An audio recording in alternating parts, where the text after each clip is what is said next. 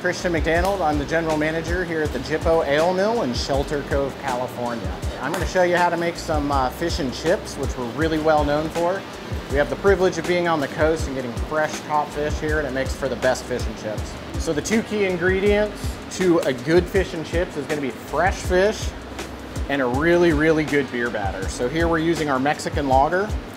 We spice ours up with a little bit of cayenne pepper, some paprika, and other special ingredients.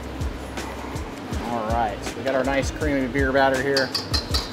Next, we're gonna start with our fish. This fish is dropped off fresh every single morning by our local fisherman, Sam. Right here, we've got some rockfish. We usually start by just trimming off a little bit of the extra meat here.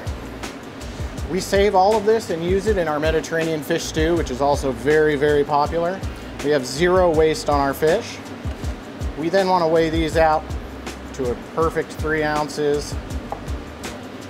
We're actually going to grab a couple of these fillets here and just drop them in our beer batter. It Takes about two or three minutes. We go through well over a thousand pounds of fish every single week here at Gyppo. Oh, rockfish, you can't beat it for the fish and chips. The consistency, it's a nice firm fish without being too hard. Also, the flavor goes really, really well with the beer batter. Serve this with our house tartar sauce and a spicy cocktail sauce as well.